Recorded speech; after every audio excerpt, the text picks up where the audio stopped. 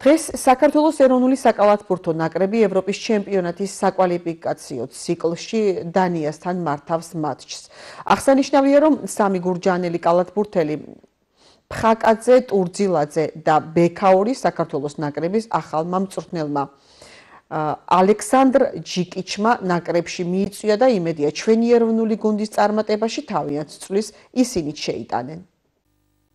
პირველ რიგში წარმატება მინდა უსურვო საქართველოს ეროვნულ ნაკრებს დღეს დანიასთან მატჩში და ასევე მინდა აღვნიშნო რომ სამი მოთამაშე არის ჩვენი მიწვეული ესენი არიან ბექა ბექაური, ოთარ ხაკაძე და გიორგი ტურძილაძე. გამოშვებას რეგიონს გარეთ განვითარებული მოვლენებით განვაგრძობთ.